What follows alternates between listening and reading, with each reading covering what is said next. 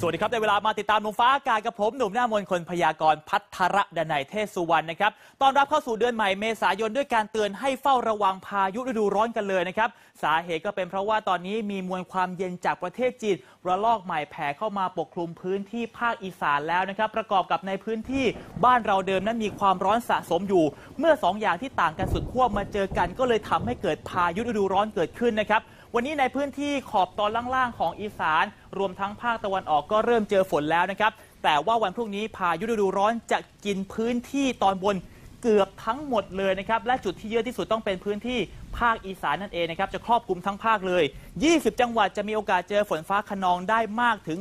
60%นะครับขณะที่พื้นที่ภาคตะวันออกก็มีโอกาสเจอพอๆกันนะครับ 60%นครนายกปราจีนบุรีสระแก้วรวมถึงจังหวัดที่ติดทะเลทั้งหมด รองลงมาก็จะเป็นพื้นที่ภาคเหนือนะครับ มีโอกาสเจอฝนได้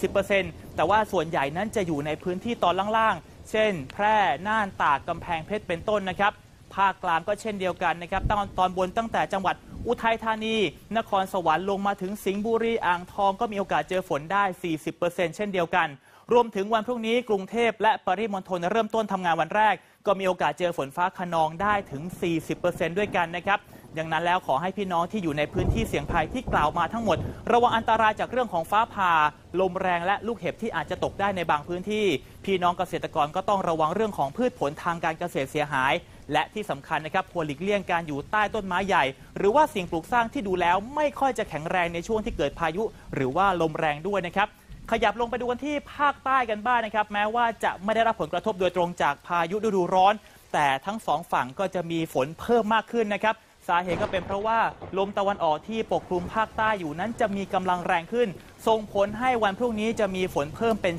40%และอาจจะมีฝนตกหนักได้ในบางแห่ง เช่น สุราษฎร์ธานี พัทลุงกระบี่และตรังเป็นต้นนะครับ